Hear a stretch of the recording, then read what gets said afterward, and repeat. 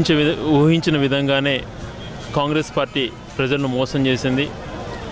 Anthony committee అని ఒకటి వేసి విస్తృత అందరి యొక్క మనోభావాలు తెలుసుకుంటామని చెప్పి కేవలం మోసం చేసిన విధంగానే మేమందరం ముందే చెప్తున్నాం ఈ కమిటీ ఒక మోసపూరితమైనటువంటి కమిటీ అని.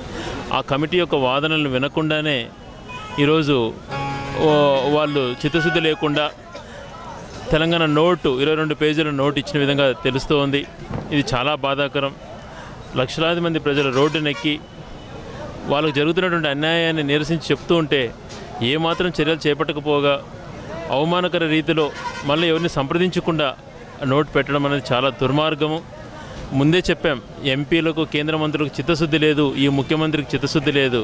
కేవలం వీళ్ళు ప్రజలను మభ్యపెట్టడానికి ప్రెస్ స్టేట్మెంట్లు ఇస్తున్నారు తప్పితే ఒకసారి కాదు రెండుసార్లు కాదు. నిట్ట నిలువున తెలుగు ప్రజలను ముంచారు వీళ్ళందరూ కూడా కలిసి.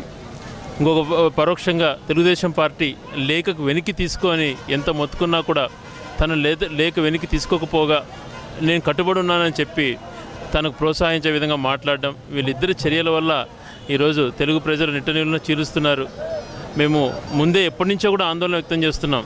వీళ్ళు చేస్తారు వాళ్ళ మాటలు నమ్మకండి అని చెప్పి. మేము చూసుకుంటామని చెప్పి ముఖ్యమంత్రి ఎన్నికల దాకా జరగదని ఒక మంత్రి ఎన్నికల దాకా ఆపుతున్నామని చెప్పి ఇంకొక కేంద్ర మంత్రి వీళ్ళందరూ కూడా అన్ని రకాల మోసం చేసి ఈరోజు తెలుగు ప్రజలను గాయపరిచే విధంగా వీళ్ళు చేశారు.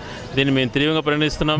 తెలంగాణ నోటు వచ్చినా ఇంకొకటి వచ్చిన చివరి క్షణం వరకు వైఎస్ఆర్సీపీ పార్టీ మా నాయకుడు జగన్మోహన్ రెడ్డి గారు మేమందరం కూడా కలిసి పోరాటం చేసి పోరాటంతోనే వాళ్ళు దిగి వచ్చే అవకాశం ఉంది? ఇప్పటికైనా ఈ కేంద్ర మంత్రులను కాంగ్రెస్ వారిని ముఖ్యమంత్రిని చంద్రబాబు నాయుడిని సరైన రీతిలో నిలదీయకపోతే మనకు దో- ఎప్పుడు కూడా జ తీరని నష్టం జరుగుతుంది.